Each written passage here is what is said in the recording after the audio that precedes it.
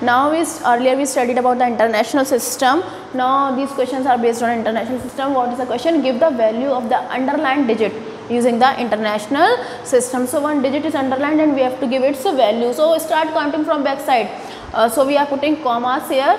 Also ones, tens, hundred, thousand, ten thousand, hundred thousand. In the same way, so ones, tens, hundred, thousand, ten thousand. So what will be its value? 30,000 and uh, after every three numbers we are putting comma. So after three numbers we will put one comma before three numbers. So it is 30,000. We will, uh, how many numbers are there back side? Four numbers we will put four zeros. Come to this question.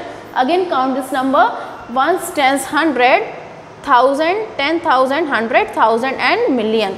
So this answer is 6 million. So we have to give the value of 6. So what we will write? We will write 6 here and how many digits are there? 1, 2, 3, 4, 5, 6. We will put 6 zeros there. So this, uh, this is 6 million and here it is 30,000 and here it is 6 million. So I am reading, reading this number for you. 6 million 42,381 our answer is uh, this number is 6 million 42,381 so here the value of 6 is asked so 6 is 6 million.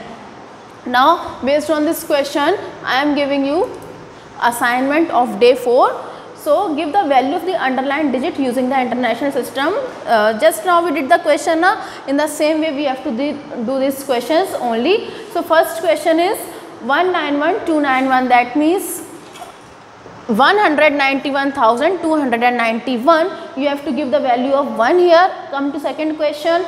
Ones tens hundred thousand ten thousand hundred thousand and million. So it is 7 million 184,889 so you have to give the value of 8 in this question. So that's it for today. And uh, remaining part we will continue our next video. Thank you